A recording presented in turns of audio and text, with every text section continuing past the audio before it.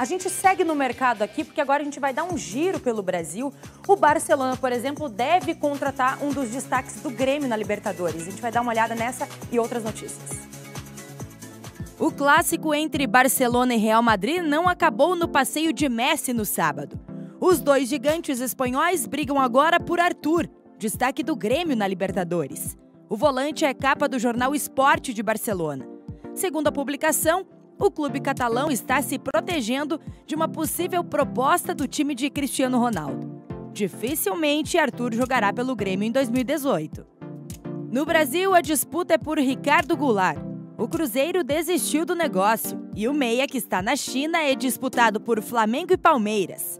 Aliás, o Palmeiras tem sido o grande comprador do mercado nos últimos anos. Eu posso dizer que o nosso grupo hoje está com 90% é, vai se apresentar com 90% do grupo que termina esse ano. O ex-atleticano Everton já está confirmado. O zagueiro Emerson Santos, o lateral Diogo Barbosa e o meia Lucas também são reforços certos. Já no São Paulo, a aposta é um novo goleiro.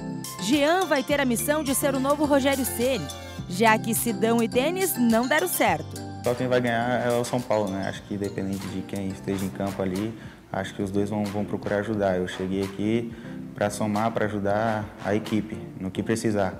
O tricolor pode perder o atacante Lucas Prato. O argentino é especulado lá na sua terra e no México. E olha,